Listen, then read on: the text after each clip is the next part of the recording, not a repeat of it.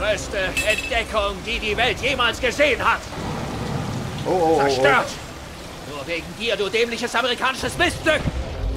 Oh Gott, ich glaube, ich kann noch Glasblitz. Schaffst du, schaffst du, schaffst du. Sehr gut. So, gib ihm einer. What the fuck? Jahrelange Arbeit. Und alles umsonst. Da. Alter. Jawohl. Dir so. So sieht's aus. Oh.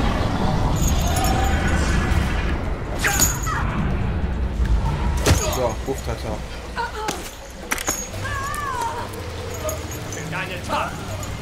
Komm. Schüttel, schüttel.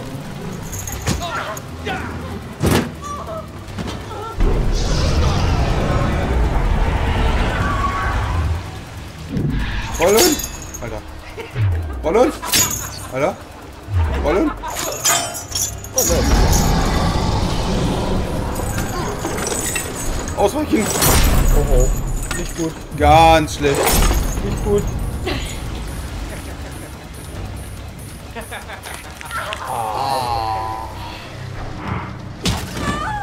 Kann ich hören. Macht der jetzt schon wieder eine Scheiße. Will mich jetzt von hinten bumsen? Wir sehen uns. Auf der anderen Seite.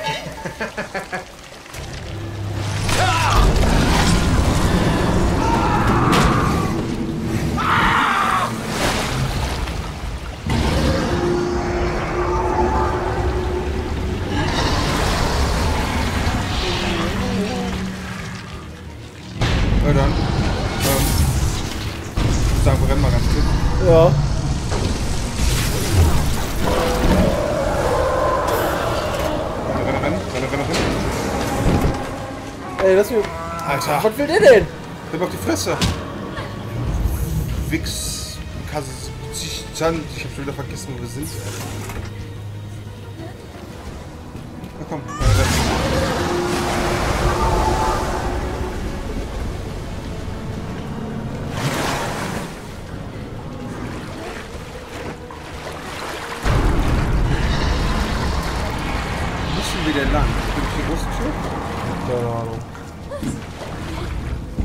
Fall Kamerafahrten habe ich irgendwie den Überblick verloren.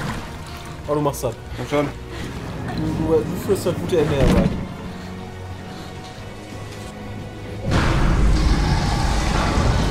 Filme sind immer so mega Premium-Szenen, die ich echt hasse.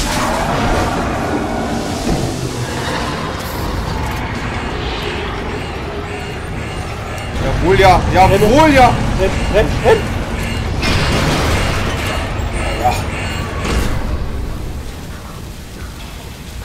Tja, das ist der Ryan schon nein! Wo zum Teufel bist du? Ich hab doch gesagt, wir sollen fahren. ah.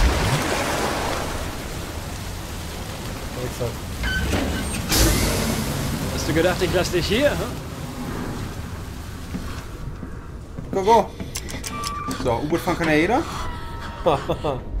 Jetzt ist es schon spannend mit dem Mediafi. Weil das ist bestimmt noch hier. Okay, wir müssen nicht fahren. Kommt die Druckwelle.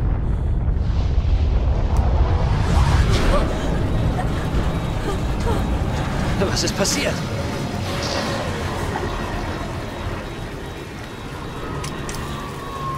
Die Schockwelle hat den Antrieb zerstört. Ah. Wir haben ein Leck. Wir werden ertrinken. Gut analysiert, Watson. Die Oberfläche ist nicht weit. Vielleicht schaffen wir es lebend bis hoch. Lebend bis hoch. Ja, gibt noch einen vernünftigen Plan. Die Oberfläche ist nicht weit. What?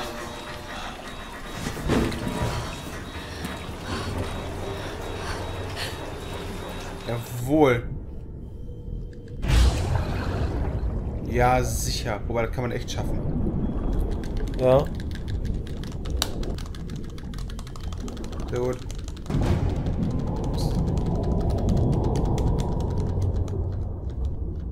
Lol, nicht im Ernst.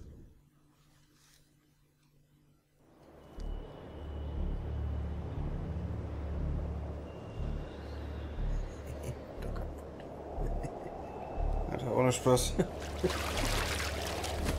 Ich hab doch nur einmal aus Versehen bin ich auf X gekommen. Verarsch mich doch nicht. Nee, du bist jetzt tot, du Nutte. Nee, nee. Fuck. Fuck. Komm schon. Komm schon, Jody. Komm wieder zu dir, ja? Komm schon. Oh, fuck.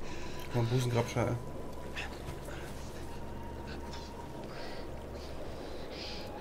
Ja, komm schon, Jody.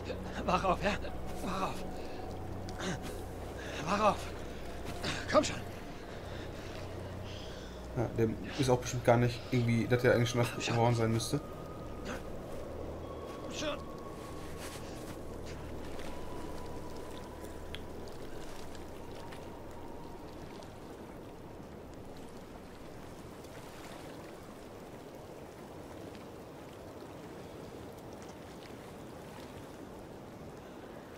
Ich liebe dich, Jody.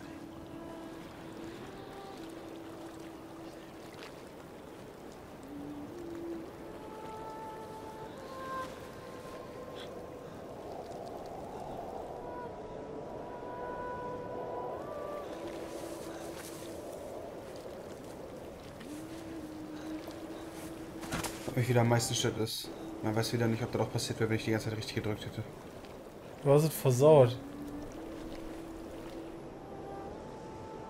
Ich habe keine Ahnung.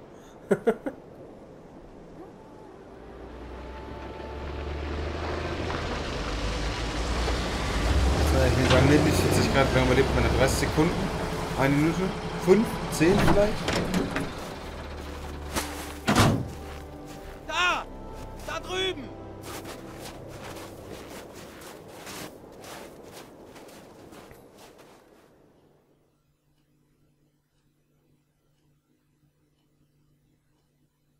Spuk. Jetzt springen wir wieder so weit nach vorne?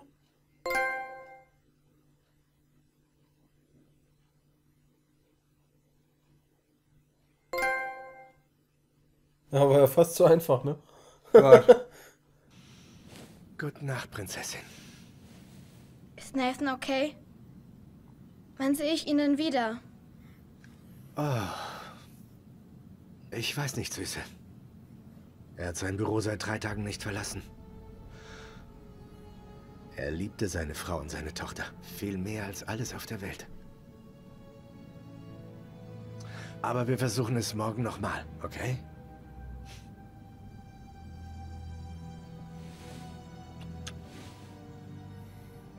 Jetzt wird geschlafen.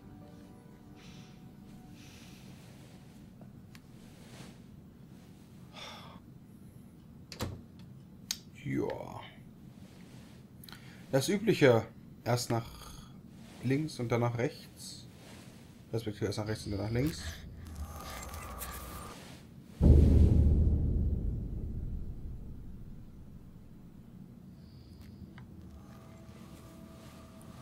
Ich glaube, die will sich mit uns unterhalten. Die talkt mit uns. Ja. Ich glaub, die will uns was zeigen. Kannst davon einfach raus können. Macht Cole denn gerade? Ach, da ist gar Ja. keiner.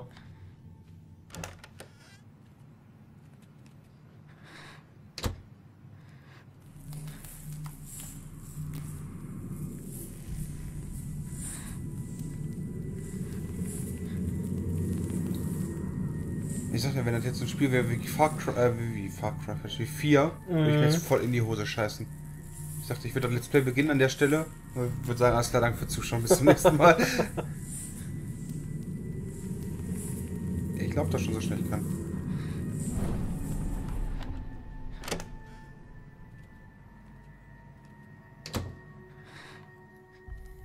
Was ist denn das für ein Raum? Ich glaube, das ist nächstes Büro. Ja, macht Sinn.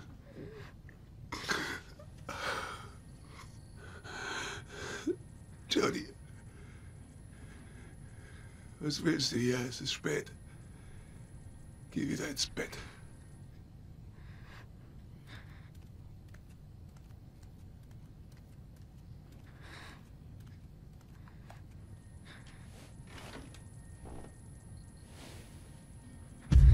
Ach, die zeigt den. Ah, jo. Tja, zu Jodie oder zu ihm? Ne, zu Jodie. Von dem blauen zum gelben. Zum, zum gelben, genau. Mega gelb. Zum violetten.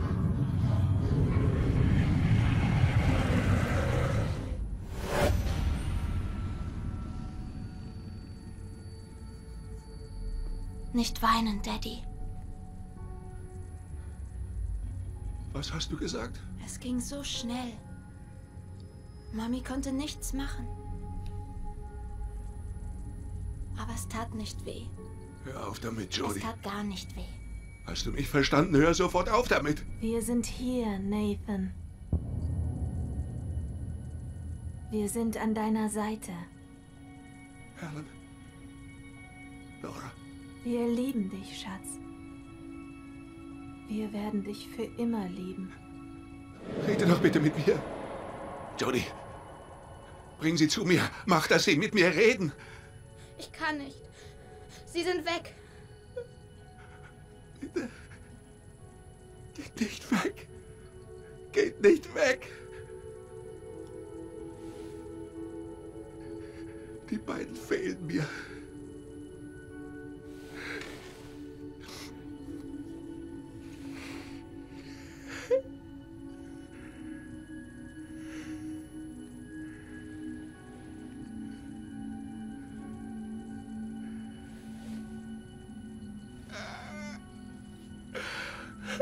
Jetzt stell ich mal wieder eine gewagte Theorie auf. Ich glaube, der ist doch der Böse. Ich glaube, der will Jodie missbrauchen, um quasi durch die Infrawelt an die beiden Ach wieder so, an die. Eltern zu kommen.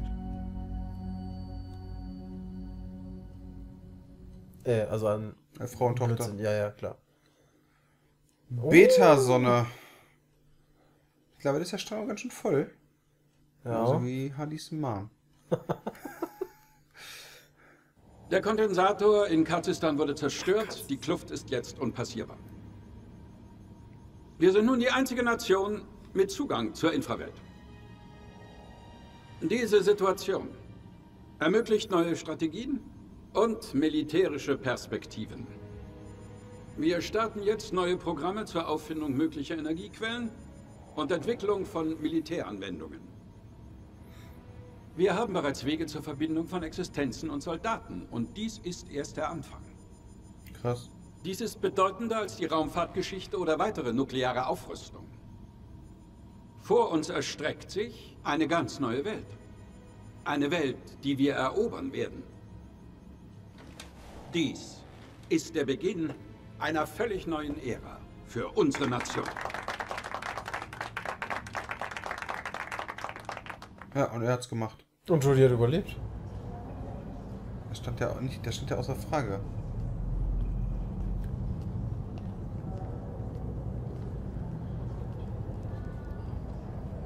Ich glaube, das mit dem Auge hätte man ändern können. Ja, das glaube ich auch.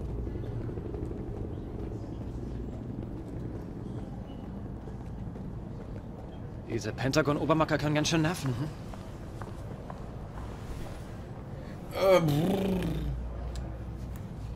McGrath macht mich krank. Der Typ ist so ein zynisches Arschloch. Weißt du, es wäre für das ganze Land eine Wohltat, wenn ich ihm Eiden auf den Hals schicken würde. Tu's. Wir haben alle unseren Teil dazu getan. Wir dachten, wir würden das Richtige tun. Aber unser Einsatz, er war...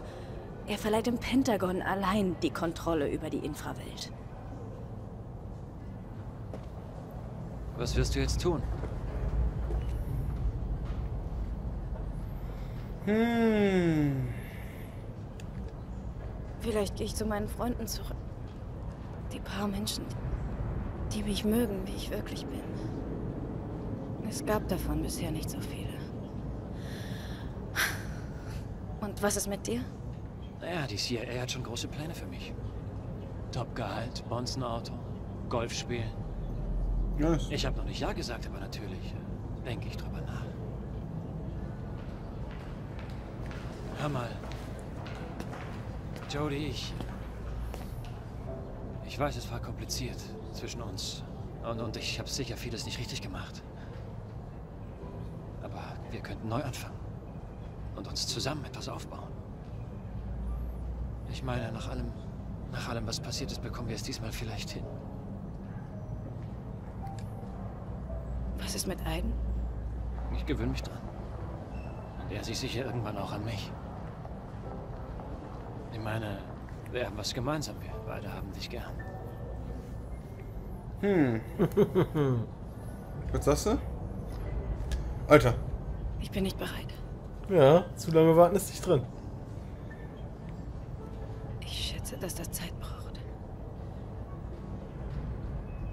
Tut mir leid, Ryan. Ich weiß jetzt nicht, ob ich wirklich antworten wollte.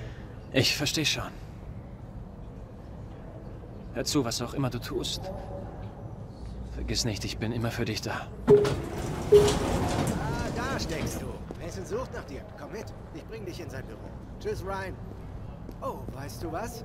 Ich habe ein Single Malt bei mir stehen. Ein feines Stöffchen. Kommst du gleich nach? Äh, nein. Ich sollte lieber... Sowas trinkt man doch nicht allein. Whisky verlangt Begleitung. Ich sag dir was. Ich such dich dann, okay? Hier lang, Jody.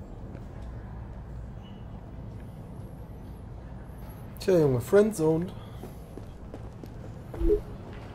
Ja, der war auch ein bisschen Spaß hier, muss man mal so sagen. Ich fand ihn auch nicht wirklich sympathisch. Manche Entscheidungen sind schwer, Jody. Ja. Immer haben die anderen für mich bestimmt. Wird Zeit, dass ich mal Entscheidungen treffe. Tu nur, was dein Herz dir sagt. Dann triffst du die richtige Entscheidung. Wie viele Leute da schon wieder stehen. Ich find's echt noch ziemlich creepy. Ich würde mein Büro niemals auf die gleiche Höhe setzen, wie dass man da mit dem Fenster nur so durchgucken kann. Da auf den Kondensator, aber der ist so groß. Das ist halt die Frage, da muss er ja unten in die Erde rein. Ja, stimmt auch wieder. Ich find's ja trotzdem mega creepy. Ich finde die Räumlichkeiten hier ein bisschen erinnert schon an Bioshock. Äh, nicht an Bioshock, an, an Mass Effect. Ma Mass Effect, ja, ja. Deswegen Okay, finde ich das auch so da. steril und kalt, ja. Ja. Ruf mich an, dann hole ich dich wieder ab. Okay.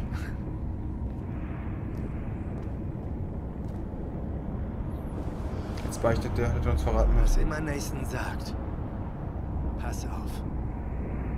What? Alles klar.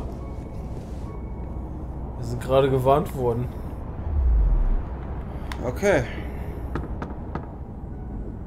Ja, bitte? Ich meine, der ist nicht so umsonst der M- Megabouncer, der mit dem Megabüro einfach.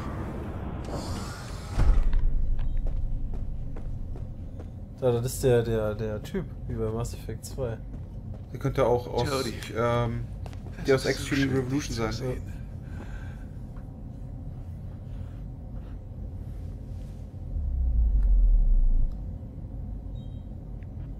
Ich habe meine Mission erledigt. Jetzt ist die CIA dran.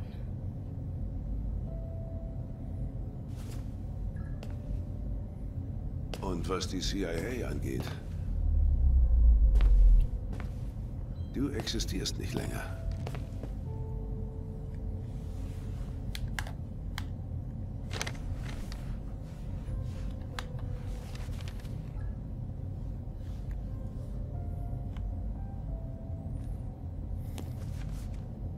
Du heißt jetzt Elizabeth North. Neue Identität, neues Leben.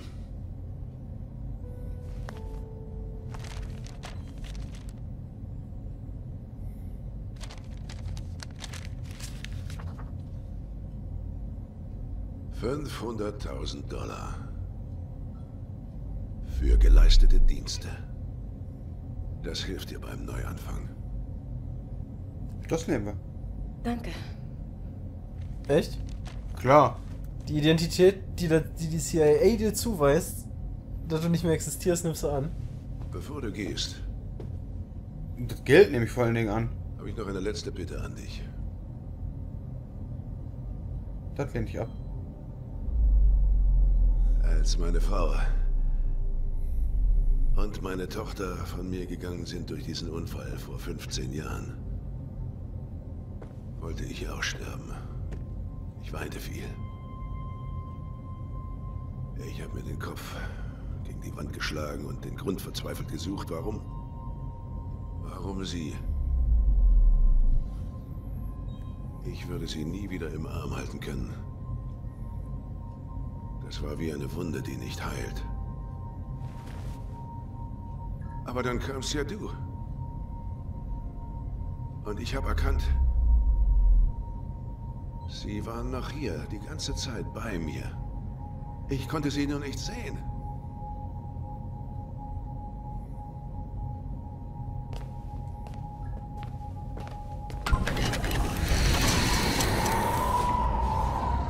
Die Regierung hat mir alles gegeben, was ich brauchte.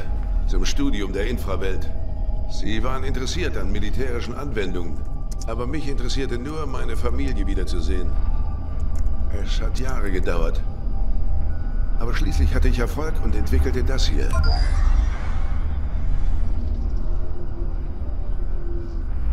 Kranker Scheiß. Die sehen mir aber nicht sehr fröhlich aus. Nö.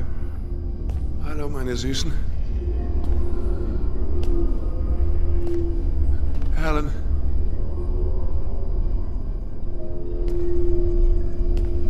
Laura. Ihr beide fehlt mir so sehr. Komme zu Ihnen jeden Tag. Wir werden bald vereint sein. Ich entwickle einen modifizierten Kondensator, um mit den Seelen aus der Infrawelt zu kommunizieren. Um mit den Toten zu reden, Jodie. Stell dir das vor. Was willst du von mir? Ich will, dass du mir hilfst, mit ihnen zu reden. Ich will sie nur reden hören. Ich will ihnen sagen, was ich hier tue. Bis zum Abschluss meiner Forschung bist du die Einzige, die das schaffen kann, Jodie. Äh, nein. Nathan. Nein. Nein. Tu das bitte nicht. Ihre Stimmen sind verschwunden seit 15 Jahren. Seit dem Tag, an dem ich sie durch ein kleines Mädchen hören konnte. Ich bitte dich. Jodie.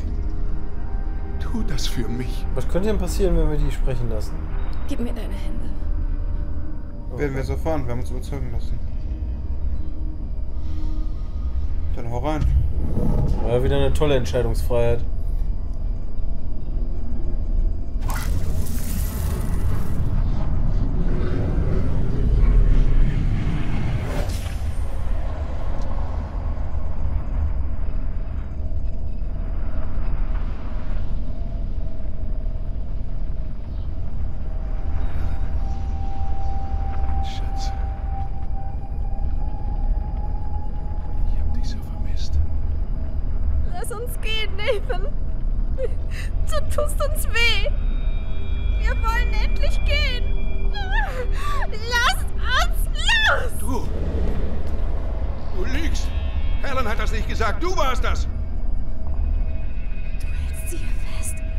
Krasser Scheiß.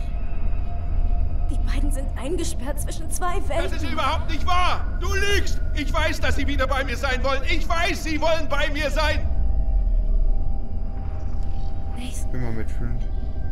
ich weiß, was du fühlst. Du weißt aber überhaupt nichts von meinen Gefühlen! Gar nichts, verstehst du? Leb wohl, Nathan. Ich hoffe, du findest Frieden.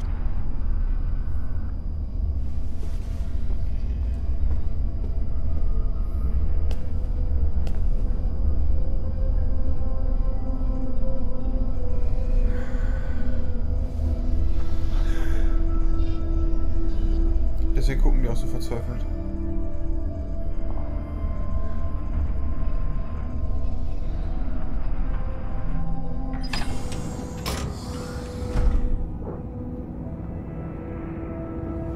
Die jetzt wirklich gehen lässt? Weiß ich nicht. Vielleicht kannst du das dann nochmal nachgucken. Wow.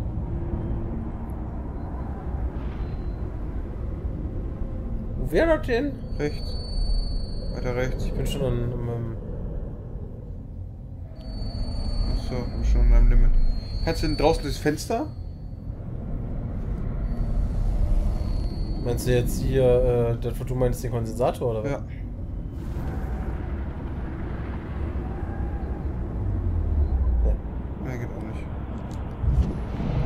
Das ist Panzerglas, da kann ich nicht durch.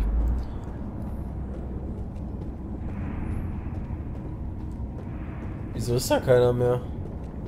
Ja, nicht, vor allem war hier, hier waren auch noch Wachen und so ein Scheiß.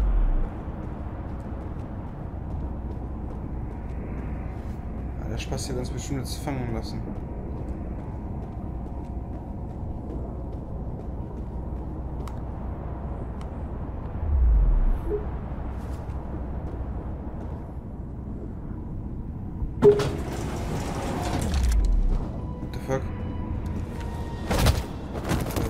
Auf den Hinterkopf, ey.